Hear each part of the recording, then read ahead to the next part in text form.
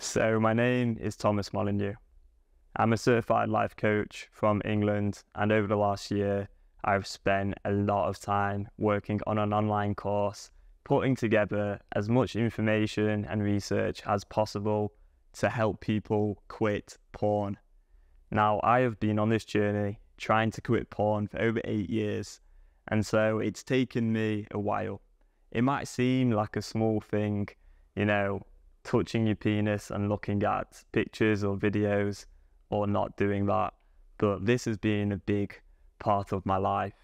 And so I'm going to share what I've learned over the last eight years with yourself. So the starting place for me was struggling with erectile dysfunction. Essentially, I had some nerves, a bit of anxiety, and due to looking at porn so often in the past, that first time for me when I was about to have sex, I did not get erect. And so, you know, I could make all the jokes in the world about it, but the reality is that was due to how I'd been I'd been raised in a society by by a world where we have, you know, porn and sexual content everywhere and it's basically the norm to look at that content. Now, in my opinion, I think it can be really harmful to the brain and there's not enough research out there on this topic just yet. But what I will do is share with you now how you can quit porn for good. And this is just based off my own personal experience, but also, I suppose, a lot of research and a lot of reading and a lot of meditation as well. So, what I would say is during that eight years, there was a lot of ups and downs for me. I kind of, I'd kind of base my self worth and my confidence on how well I was doing in terms of no NoFap. So, this streak you know, often I'd get onto quite a good streak and I'd be feeling good, a lot of confidence, and then I'd have a setback and back down onto day zero. I'd feel pretty awful, a lot of tiredness, anxiety, frustration with myself. There was this internal battle. And so my mental health and just my overall confidence was very up and down. Overall, I never gave up, I never quit. And I do think I've made quite a lot of progress in my life as a whole over the last eight years. It's quite a long time, but just never giving up and sticking to the process of continually learning and trying to improve myself has helped a huge amount. So, the first thing I would say, my first tip would be, and I, I, I love saying this because it's something that everyone should know. I think if I had like one aim in life right now, it would be to get this message out there to as many people as possible. Because the number one thing for me is that there is absolutely nothing wrong with you. There's absolutely nothing wrong with you for struggling to quit porn. And there's absolutely nothing wrong with me either. But I'd internalized a lot of those failures through having setback after setback after setback. I kind of started to think in my head, uh, is there something wrong with me here? Why can't I quit? I have this problem. And so I started to focus more and more on the failures and sort of forgot at times who I really was deep down. And the thing is, this problem of porn isn't something you're born with. It's a problem that you that you have because unfortunately, as I say, we live in a society where this is ubiquitous. It's everywhere online nowadays, on social media and there's not re- uh, there's not enough research on this yet um, to to say how harmful it is. In my opinion, this is very much like how how smoking was maybe 50 years ago. It's just something that everyone does, but we don't know yet how it can be so harmful. So that's the first thing is just to realize that there's absolutely nothing wrong with you if so far you have struggled to quit. The only reason you would have struggled to quit so far is because you have not been taught how. You've not had enough practice of quitting based on a strategy that actually does work. Now, the second thing on those sort of on the on on those lines of having a strategy, having a process, well, what we want to do is actually start to start to deal with this problem in a totally different way where we don't use willpower and we don't focus on the cravings too much, although they are important and I'll talk about that in a moment what we want to do is really focus on the cues because if we have a look at James Clear's habit loop, it goes like this cue, craving, response, reward. That reward then results in further cues. And in terms of the brain and porn, That may be due to the accumulation of delta a transcription factor, and we could get really scientific, but essentially it's just how our brain is conditioned. If we've had a huge evolutionary reward in the past, then we're obviously going to have certain cravings that are connected to the cues which led to the cravings and the actual huge evolutionary reward in the past. I hope that makes sense. But just a sort of simple version of that, like let's say you go on a TikTok, you go on TikTok one day and you end up getting turned on by some sexual content because that platform's full of sexual content. You end up having a wank, masturbating, you have an orgasm, and at the end of that, what's happened is your brain has slightly rewired to say, okay, well, TikTok, that can lead to orgasm. That's this huge evolutionary reward that in the past our ancestors would have kept on reproducing and actually having children from. So let's value that really highly. Let's, you know, get really excited if we go on TikTok again in the future. So then after a few times, you end up going on TikTok and your dopamine just as blasted because you've got this excitement, this anticipation of this huge reward. Dopamine is all about anticipation, desire, craving, the wanting. And so you're obviously going to experience a lot of craving in that moment. So, my second tip overall, what I've learned is to really try and limit our physical cues, the cues that in the past have led to us looking at porn. Another one, maybe if you're laying in bed. Well, if you've laid in bed and that's the place where you tend to uh, masturbate, obviously you want to start considering what are you actually laying in bed for? Is it to scroll your phone on social media, or are you going to start just using your bed for sleep and nothing else? And that would be my my recommendation is to just apply a one space, one use strategy. I talk about that more in my online course. So the third thing that I've learned is along these lines of the habit loop and the cue craving response reward, we also have emotional cues which lead to really intense cravings. You're stressed out at work. Well, what happens is, I don't know, maybe one time you go and masturbate and get this huge evolutionary reward. Then after a few times of doing that, eventually your brain is going to rewire to associate stress with an orgasm and stress with porn. And so what's going to happen is you're going to get cravings when you feel stressed at work. And so that is true for any any emotion essentially, especially things like stress though, because it sort of weakens the prefrontal cortex and sort of turns that off temporarily.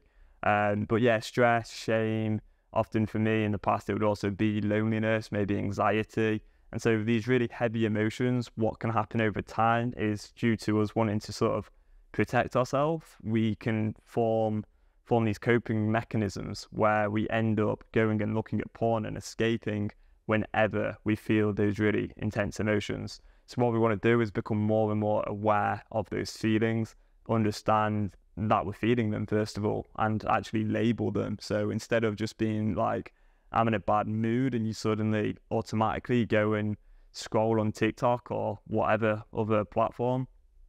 Instead of doing that, you go, oh, actually, I feel really, really quite alone right now. Um, I'm lonely. Well, what can I do? And you go and proactively meet your needs. Maybe you go call a friend or meet up with somebody. Or if you can't do that, if there is no solution to your problem in that given moment, that's okay as well. It's just learning to accept that. So, number four would be identifying the root cause of your issue because looking at porn is only ever a symptom. It's not the actual root cause of your of your problem. It's not the main thing going on in your life. Like for me, I realized quite a while ago now that the root cause for me was was really dealing with my mum's cancer. You know, that's not an easy thing to deal with. Um, she got diagnosed when I was only 12. And so growing up, that was a big part of my life, especially the feelings of powerlessness around that. As a kid, you don't have any power when, you know, you're 12 years old and your mum's being told she might die soon. It's a, it's a horrible situation. And so identifying that was really useful. But what I would say is that I still wasn't able to quit porn fully by just realizing that that was like the main sort of problem in my life. What I had to then do was the hard part. And the hard part is dealing with the emotions associated with the root cause. So that for me was the powerlessness. That for me was often loneliness, anxiety, and fear. Fear that my mum would ultimately die. And then also other feelings like shame, like I hadn't done enough, like I wasn't good enough, like, you know, maybe it was my fault in some way, or, you know, really, really just wanted to protect my mum and, and keep her alive somehow. So, so many things there. And it was really dealing with all those emotions associated with the root cause, which, um, which was a game changer for me. Uh, learning to both accept them, realize that they're temporary, but then also if there were any problems I actually could uh, solutionize and, and actually figure out a way of getting around them is going and taking the action and solving those problems. Number six, I would say, is like changing your sort of mindset, your perspective on on life as a whole, in terms of like how difficult it is. Um, I started doing volunteering work like about a year ago. I do volunteering work for the Samaritans here in England, and I talk to people who have had the most horrendous lives. Often often they're, they're in a really bad way mentally when they're calling us. Um, not always, but but sometimes they're suicidal as well.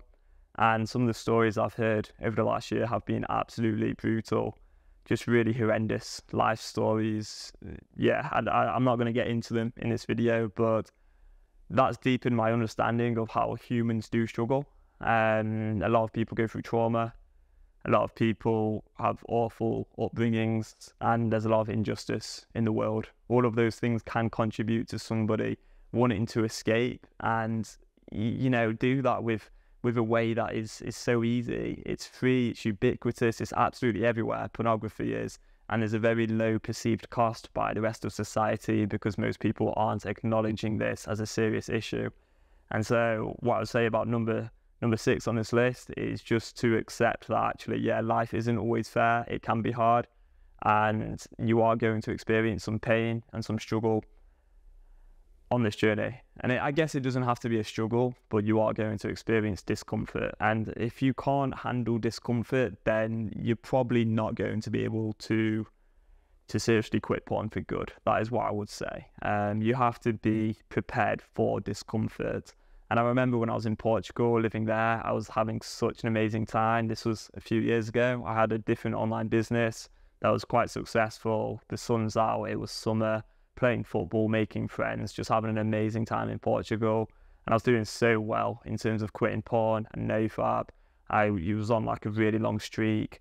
And then one day, like some friends went out and I felt really lonely. Some old feelings came up and I ended up having a setback and I think looking back, that really, really made me realize that actually, yeah, focusing on what you do want and not on what you don't want, it does work. And, you know, just pursuing a great life, that's a huge part of this journey. But at the same time, if you haven't yet learned how to deal with your emotions, how to regulate yourself properly, you're still going to have setbacks and be unable to quit porn because that is fundamental and you can't outrun negative emotions, at one point you have to just realize that they are going to come. It's part of the human experience, and that's not a bad thing. We can avoid them as much as possible by pursuing a better life and growing and developing and really diving into personal development to make our lives better. But at the same time, they are going to come no matter what. And that's the same for sexual urges as well. So, number seven, as I was just saying there, is focus on what you do want, not on what you don't want. So, yeah, we are going to have to embrace some negative emotions from time to time, or at least accept them. But with that being said, we can still focus on what we actually want in life and not on what we don't want. In the past, I focused way too much on trying to quit porn. But imagine you're a footballer and they're taking a penalty. Um, if they're just focusing in their head, like, don't miss, don't miss, don't miss, chances are they're going to sky it. Like, they're going to miss. You know, if, if you're focusing on scoring a goal, you're way more likely to score and I've actually read some studies in the past that prove that as well. So you really do want to just focus your attention on what you actually want in life instead of the things that you don't want. The other thing to just back up this point is imagine you have someone who's dead. Well, they can literally achieve whatever nofap streak they like because they're dead. So you need to acknowledge that you have this amazing opportunity to actually improve your life and do things with it and that's here right now. And so don't just focus on trying to quit porn because that's not really a goal. A dead person is achieving that every single day, but you have the opportunity to go and make something of your life. And then finally, point number eight self compassion. curiosity, just see everything as data. You know, don't beat yourself up too much. If you have a setback, just learn from it. Just keep on learning. Be curious. Just see yourself from a bit of a distance. You know, if you have a setback, don't get overwhelmed and swept away by shame and negative emotions. There's absolutely nothing wrong with you. There's just something wrong with your process or your system. Learn from it, adapt, move on, be flexible in your thinking, and success will be yours. So I hope this video has helped you. My online course is out right now. Go to www.finallyquitporn.com and I will see you shortly. Also, please do like and subscribe if you have enjoyed this video. Let me know about your experience on NoFap in the comments. And I genuinely do wish you the best of luck on quitting porn. This is a problem which we've had to face just because of how society is set up, and that is unfair in my opinion. But you know what? There's a lot of personal growth to be had here, and mastering your emotions is something which is just absolutely unbelievable. So there's a lot to get excited about as well. There's a great opportunity here to grow. So thanks for watching, and I'll see you in the next video.